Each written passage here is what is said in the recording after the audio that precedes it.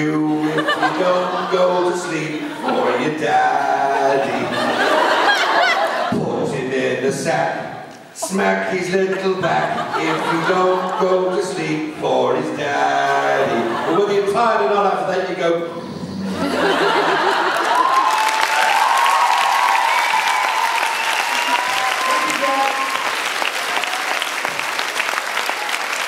Pretty good.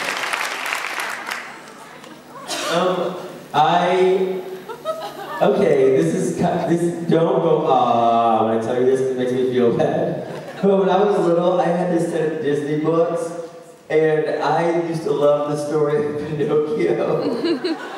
Until kids started calling me that in school, and it wrecked it for me. But I loved it. It had the best pictures, and there's that little cricket and a cat or something, and I really liked it. But DJ, why did they start calling Shut the fuck up. You mean asshole. I stand behind my ears and my nose. Literally. I don't think your acting is wooden at all. Actually, I told them the truth yesterday. Um, I, uh, I get Botox not just because of the, um, of the age benefits, but because I, my face is overly expressive and it keeps me from over emoting. Oh, that's really good. I, it's true. I find vodka does the same. no, definitely. Um, no, but really, I, uh, I have a Jim Carrey face, and like I'm, I'm, I'm naturally overexpressive, and when I, when I freeze a couple of the muscles in my face, it keeps me, it makes it look like I'm a better actor. And keeps you looking hot. It does. Okay, we want to give some more people a chance here, so um, next. Hello. Hi, Hi, I remember you. You taught me that 16-year-olds can drink. Is that you? Yeah. Yes, it is. I didn't know if you wanted to admit to that.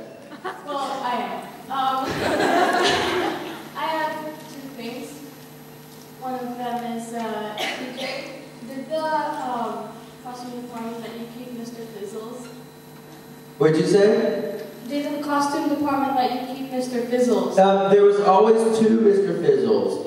Um, whenever you do a scene, usually like if you're, any piece of wardrobe or any prop, there's normally one in a backup in case something happens to the first.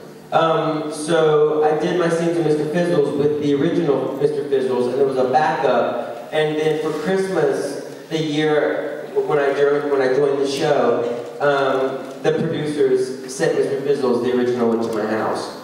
Um, so I have the one that's on the show, and, and so if Mr. Fizzles makes another appearance, I'll bring him back, they have a backup. Mr. Fizzles is made for $20 by a lady that lives in uh, Vancouver. She makes uh, sock puppets, that's what she does. I bet she's a weird lady, but I really like Mr. Fizzles a lot. Um, uh, he's kind of scary looking when you look at him though.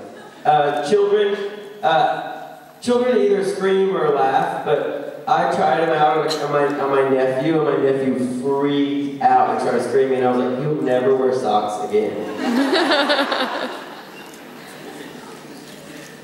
I have a ventriloquist dummy in my cellar called Sid.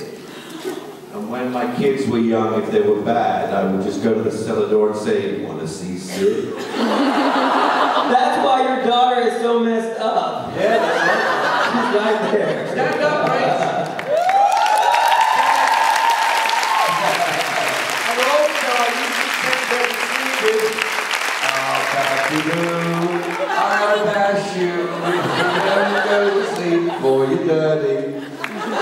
All right, sit down now, darling. Thank you.